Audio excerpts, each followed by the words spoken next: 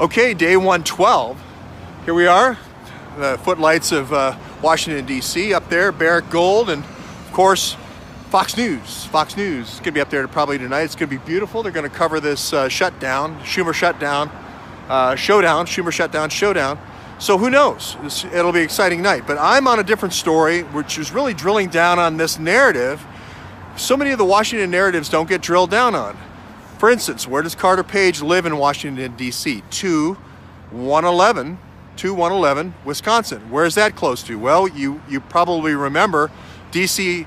Classic Motors, Classic Motors DC was 4,800, a little bit up the hill on Wisconsin Avenue. You remember all the embassies and all the stuff that was on Wisconsin Avenue. You probably remember American University.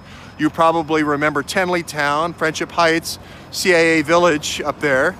You probably remember Navy Intel and all that stuff and the, all the other people that lived up there um, in our story. I think Charlize Papignon lived up there, right?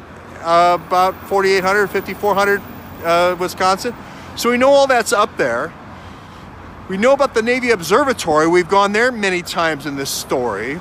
We know the Navy Observatory is under the Vice President. The Vice President has the global view, the eye of God, all over the world from the Navy Observatory. Where does Carter Page live? He lives on Navy Observatory Circle, 2111. Not, I'm not joking here. 2111 Navy Observatory Circle. I think he lives in apartment 224. I'd love to talk to him. Who lives close to there? Who lives close to the British Embassy? Who trades thumb drives in the in the British Embassy parking lot? Craig Murray. Who else lives there? Thanks, Scrunch. Who else lives there? Who else lives there? 3067 Whitehaven, 3067 Whitehaven. You're never going to get away from 3067 Whitehaven if you're Hillary Clinton because that is how you get into the British Embassy at night. You don't got to have parties.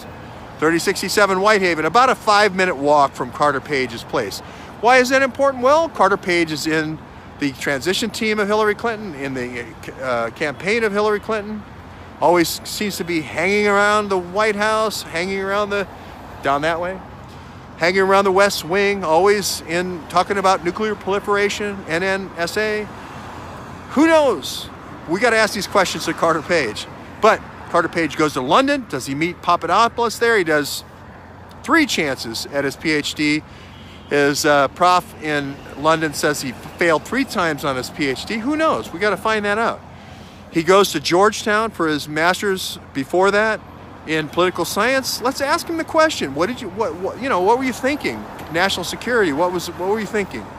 So Carter Page is going to be the key to this whole narrative of hey, let's throw the president out. Let's impeach the president. Shouldn't we drill down on that story? Shouldn't we drill down and find out who Carter Page is before everybody gets thrown out of office? Shouldn't we drill down on who George Papadopoulos is?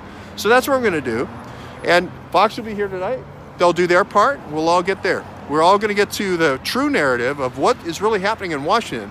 Are these school plays or are, are we dealing with the truth?